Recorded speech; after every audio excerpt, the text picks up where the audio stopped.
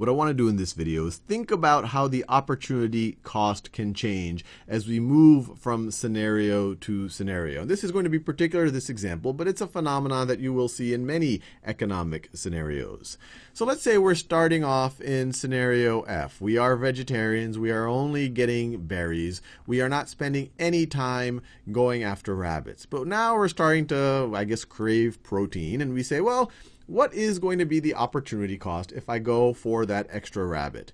If I go for that extra rabbit, then what's going to happen? Well, I'm going to have to stay on my production possibilities frontier, and so I'm going to move to scenario E. So if I go after that one extra rabbit, I am going to give up, I am going to give up 20 berries. So my opportunity cost in scenario F, sitting in scenario F of going after that one rabbit is 20 berries. Now, let's keep going. What happens? If I'm in scenario E, I'm already on average eating one rabbit or finding one rabbit a day, and I want to go to two rabbits a day. What am I going to give up? Let me do that in that same color. What will I give up? Well, now I am going to give up 40 berries. 40 berries. This is interesting. Now let's say we're in scenario D and we want and we want even more rabbits. We're really starting to uh, become carnivores now.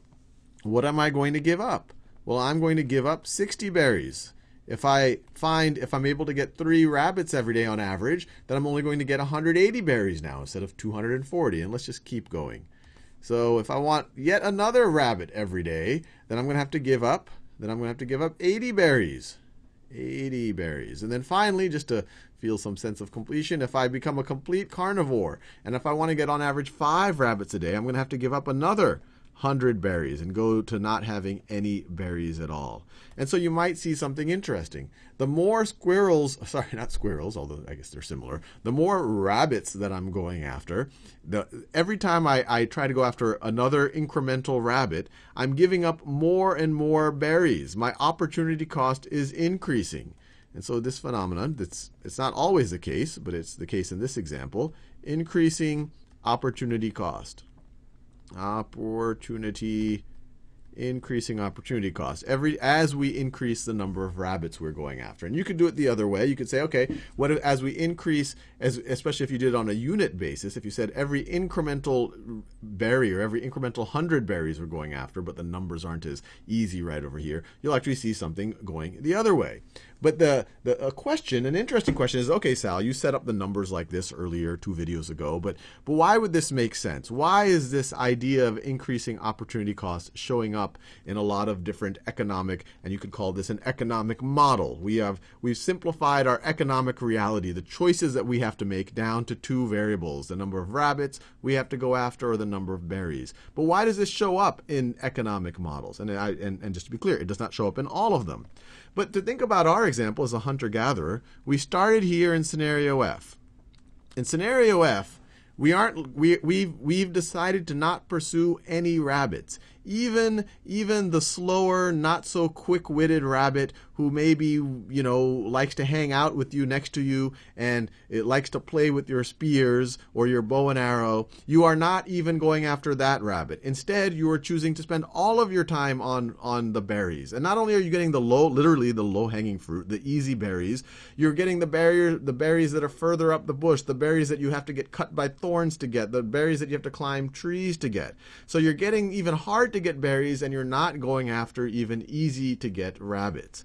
But now all of a sudden, if you say, well, you know, that rabbit who's been hanging out with me, he's been kind of asking for it. And so that was very easy to get. It didn't take much time on a, on a given day to get those really easy rabbits who like to hang out with you. You're not giving up a lot in terms of berries you're not giving up a lot in terms of berries. One, it didn't take you much time to get those literally those those slow and maybe less quick-witted rabbits and you're giving up in that same amount of time the, the very hard to get berries. So you're only going to give up about 20 of them. Now, if you want two rabbits, two rabbits a day, not only are you going to get the, the, the slowest of the rabbits, the ones that aren't afraid of humans, now you're going to have to go get the slightly faster rabbit. The, the, the slightly faster rabbit who, who wants to die a little bit less and is maybe a little bit sharper. And you're now not giving up the berries that are way up in the tree and that are protected by thorns. You're giving up berries that are closer down the tree. So this is going to take you a little bit more time to do than this right over here. And in that little bit more time, you're also giving up berries that were easier to get. And so this phenomenon is going to happen all the way until, you know, in this scenario, we're trying to get five rabbits a day.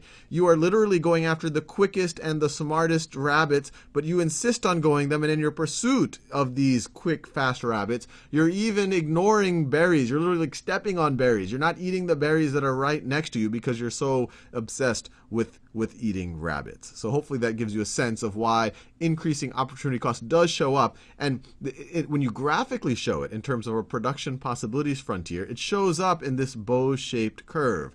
And you can see it because as we go from this point to this point, you see that the the as we increase one, the slope, the negative slope is increasing. So, or another way to think about it, in scenario F, the slope is roughly like this, and I encourage you to review the algebra playlist if the idea of slope is is confusing to you.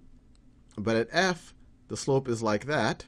I'm, I'm drawing the slope of the tangent line right over here. At E, it gets even steeper. You're giving up even more. You're giving up even more of the berries per unit rabbit. And now in D, you're giving up even more, and then you're giving up even more. And so this, this, whenever you see a bow-shaped curve like this, so a curve that literally looks like this, this shows that you have increasing opportunity costs. As you increase more and more units, you're going to have to give up more and more of the alternative.